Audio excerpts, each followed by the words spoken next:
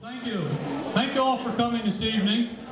Um, I've been given the very good honor to introduce someone that's running for 176th district.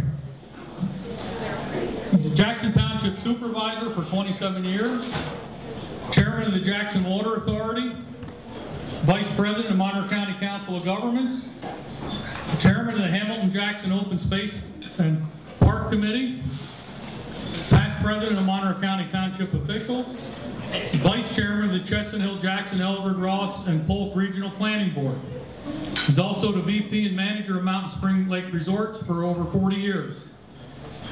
He also has the great distinction of having a wonderful family that will be second to none in the campaign performance, simply because when elected, they realize Jack won't be here for five days a week.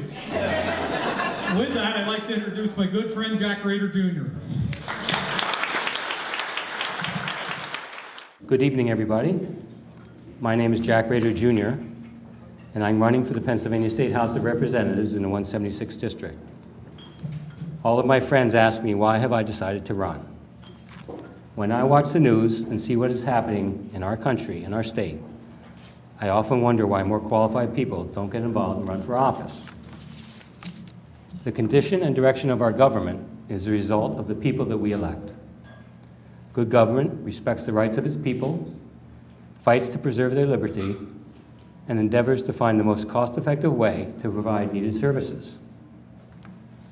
We need people to run for office who don't have a personal agenda, who treat everyone fairly and equally, and, just, and who just want to do what is right for the constituents.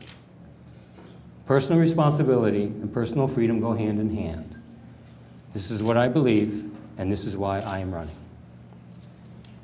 I would like to share with you a little about myself, who I am, and my experience that I think makes me qualified for this office. I attended Pocono Mountain for my early education, and then continued my education at Susquehanna University, where I earned a degree in business. For nearly my entire life, I have been involved in operating a small family business, and it actually seems longer than my entire life sometimes. This life experience has taught me a lot on how to listen to others and work together daily to get things done. This business experience also helps me understand how our tax code, healthcare issues, and overregulation can hinder economic growth and job creation. High taxes, burdensome regulations, and unfunded mandates are not good government. From a businessman's perspective, I realize we need a more common sense approach. Precious tax dollars should not be spent in ways that may, and often do, hinder economic growth. We need to help our existing businesses flourish and grow, thus encouraging job creation in our area.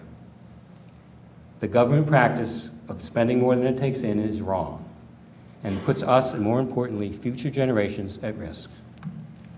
In the private sector, businesses and families have had to learn how to do more with less, and we are succeeding. Government must do the same thing. And this is where my experience in the business world has prepared me for this office. In addition to my private sector experience, I have also been a township supervisor for over 27 years. My experience in that position helps me understand the needs of the people, the grassroots concerns of the local citizens, from needed tax reform to unfunded mandates that negatively impact local government's ability to improve infrastructure.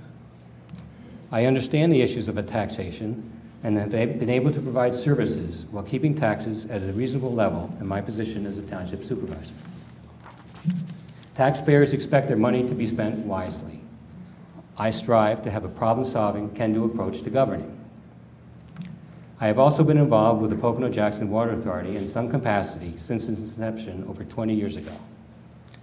This agency provides water for those people who live in the Pocono-Jackson area that were impacted by the Butz landfill Superfund site. For the last eight years, I have been chairman of the authority and have dealt with the financial needs and regulatory issues alongside our fine board. I understand how to work with the state and federal agencies to help keep a small water system viable for the community. Regionally, I have been working with neighboring townships throughout my term as supervisor. I am past president of the Monroe County Township Officials.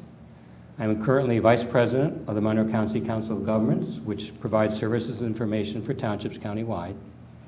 For a number of years, I've been chairman of the Hamilton, Jackson, Pocono Open Space and Park Committee. We have been working to develop a park for the residents within that area.